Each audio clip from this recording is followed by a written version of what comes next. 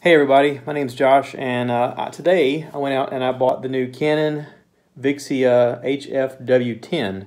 The 10 comes with um, 8 gigabytes of hard drive built into it. The 11 has 32. They didn't have an 11, uh, but I went ahead and bought the, the this one because this is what they had, and I needed a new camera.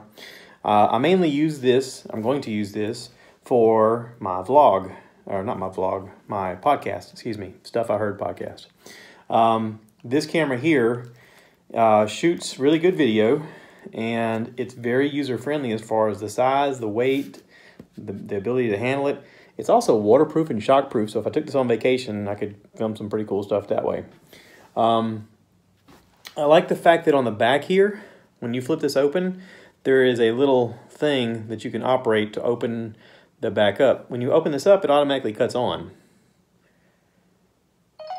Doo -doo -doo Okay, so whenever you do that, there's a little button down here on the bottom that you can depress, and then you slide this little door to the side, and that allows this to open. Inside of here, you have different connectors. You have a connector for an HDMI cable, a connector for a um, like an audio device, if like a microphone, uh, and then you have a, a, connector down here that you can connect an SD or a, a, a micro SD thing for the um, connecting the, to your computer or to a charger. Um, the memory card goes in this flat spot right there. Now, it says to use something that's fast. Uh, it recommends using like uh, SanDisk, um, you know, Panasonic, the big name brands, not the off name brands. It also says, I didn't realize this, I've, I've learned it this evening, that's why I'm making this video, not to use a micro SD card, even if you have a, a, a, uh, a converter, uh, which I happen to have a converter and I had a micro SD card plugged into it and it wasn't working. But I just happened to have a 64 gigabyte Extreme Pro SanDisk that was in my big camera. Uh, I got it out. I had to format it in the in the actual camera here, but it slides with the label facing the lens. You slide it in until you hear it click. Yeah, use your thumb. Once you hear it click, it's in there. Okay. So if you go in here to menu and you go to setup and scroll down, you can see how it says record media for video. Right there it says SD. That means your card. Uh, record media for image SD. There's one on here for um, you can actually go to your hard drive or whatever. Then there's this, this factory reset or format SD card. I go in here to format SD card, and then it's got uh, file, and it's got file plus management no. I don't know what the management no means, but I've just been collecting file and hit yes. And that formats the disk so that it gets it ready to record on this device, and it also clears off anything you've recorded before, okay? So I hit okay, and close my little door back here, and I actually need that open. The door is reinforced for you to actually film underwater, which is pretty darn cool. Okay, so let's say I want to record something. This is the hard part. I couldn't figure out how to get the video onto my MacBook uh, because in the past I've been shooting with a camera, a big, I'll show you. I've been recording with a big camera and then I've been putting the video from here and then importing it through photos and then converting it over into iMovie and then having to format it for uh, a movie that I can put on YouTube after that. I've been doing it with that and also with a GoPro. The GoPro Hero 7. Same kind of thing. I've been importing it into I've into photos, manipulating it, moving it over to iMovie. It's like an extra step. When I went to do it with this, first off, when you take the, the disc out and plug it into your computer, it says no photos. Well, of course there's no photos because it's shooting video.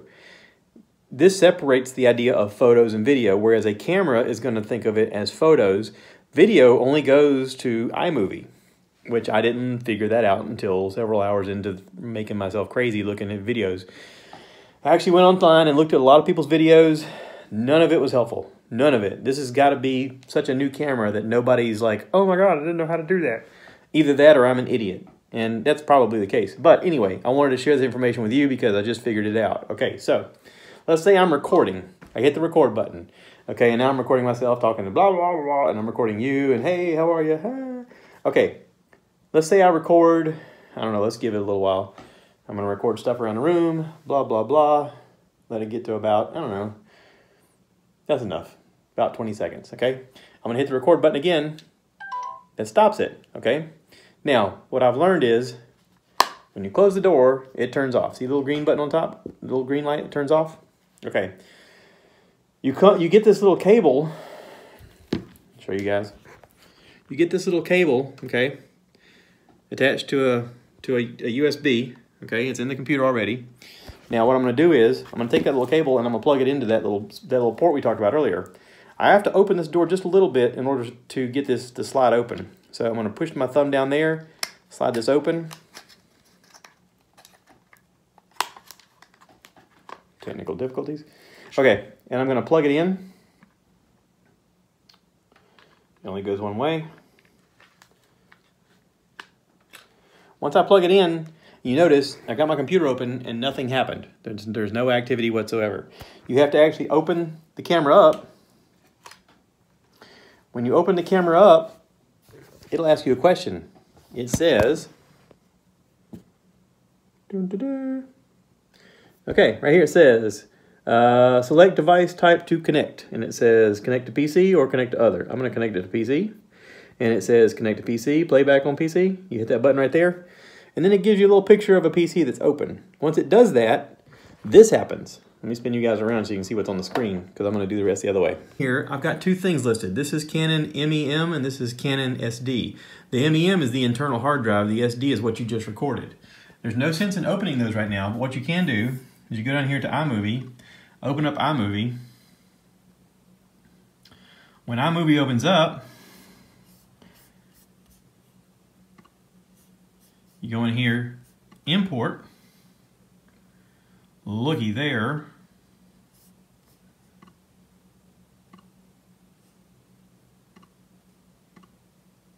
Hang on. Okay, so it was there. I don't know what I was doing wrong. Um, it's right here, okay? I go in here and I hit import all, boom. And right there it is. I can actually grab that and now I can drag it down here and look, there you guys are. The whole video. Hit the record button. Okay, and now I'm recording myself talking to blah, blah, blah, and I'm recording you, and hey, how are you? Look there. Video and a video and a video. And you're watching the video. I don't know, let's give it a little while. This is so meta. Record stuff around the room, blah, blah, blah. Let it get to about, I don't know. Okay, so once it's there, then all you got to do is save it. You go up here, you hit that, you hit the file, you hit save, and then you import it into YouTube and upload it.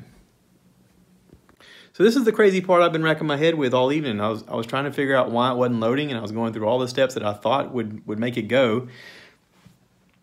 And I was like, where is the video? Why isn't it working? Why can't I get the thing to open in photos? Well, of course, it's not a photo. So I've ordered a memory card for this. I'm going to use the one from the big camera until I get the new memory card in. Um, and, uh, and, and we're off and running. So anyway, I just wanted to make the video because I didn't see another one like it, and I figured I might as well make the one that, that people need to watch. So there you go. Hope it helps somebody. Uh, thanks for watching. Take care.